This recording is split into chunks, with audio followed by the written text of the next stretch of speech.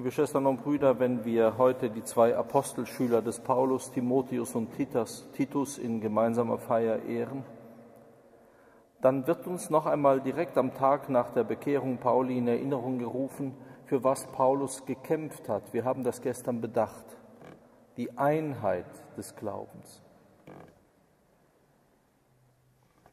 Die alte Tradition erzählt uns, dass Timotheus als Bischof von Ephesus noch Johannes den Theologen, diesen großen Alten, kennengelernt hat.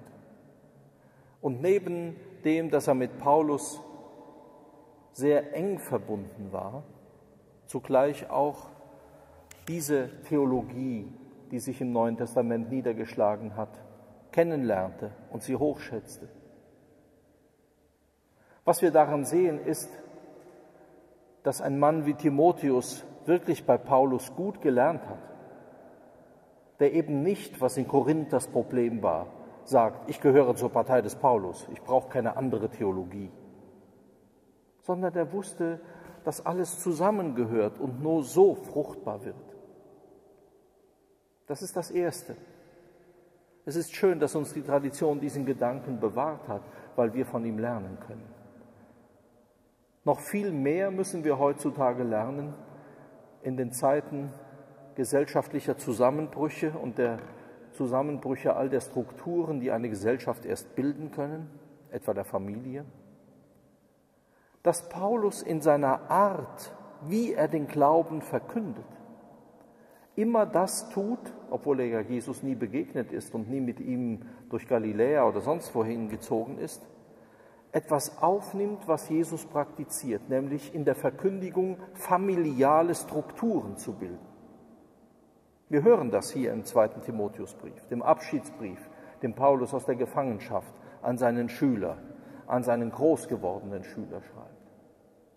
Er erinnert sich daran, wie er diesen Jungen kennenlernte, als er die beiden Frauen besucht hat, Lois und Eunike, seine Großmutter und seine Mutter und wie dieser Junge begeistert war, wie er heranwuchs und wie er dann sein sehr gelehriger Schüler wurde.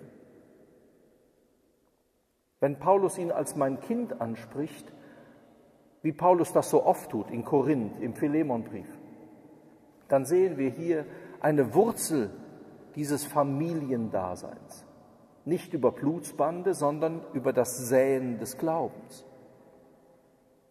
Paulus ist ein Vater, ein Vater vieler Kinder. Wenn wir, und man kann das immer wieder ganz aktuell hören, diese Konzeption des Neuen Testamentes etwa für die Priesterschaft ablehnen, weil es ist fremd, das ist ein ganz komischer Gedanke. Es ist kein, kein Wunder, dass bei uns kein Glaube wachsen kann, wenn es keine Väter mehr gibt. Wo sollen denn die Kinder im Glauben herkommen, wenn die Väter sich verweigern? Das liegt offen auf der Hand. Das ist nicht ein billiger Vergleich, eine Analogie, ein Bild, wie wir uns dann herausreden, sondern es ist eine Essenz des Neuen Testamentes. Wenn, um im Vergleich, im, im, im Gleichnis des Evangeliums zu bleiben, niemand auf den Acker geht und sät, kann keine Frucht aufgehen, nichts kann wachsen.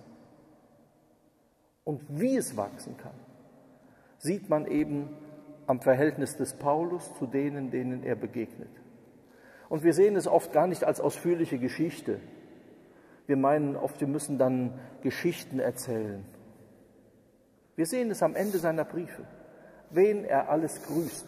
Lange Listen, lange Grußlisten.